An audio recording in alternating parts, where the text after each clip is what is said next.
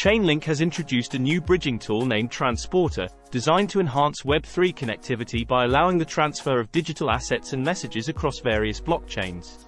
This innovation stems from the collaboration between Chainlink Labs and the Chainlink Foundation, and leverages the newly launched cross-chain interoperability protocol to ensure secure and efficient transactions. Transporter supports multiple blockchain networks like Ethereum, Avalanche, and Polygon, without imposing additional fees beyond standard transaction costs. The launch is seen as a pivotal step in promoting secure cross-chain connectivity, essential for the broader adoption of blockchain technology.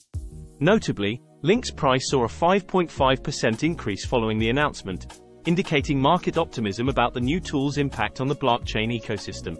Early adopters, including prominent venture capital firms, are already exploring the benefits of Transporter, suggesting it could become a standard for decentralized computing across chains.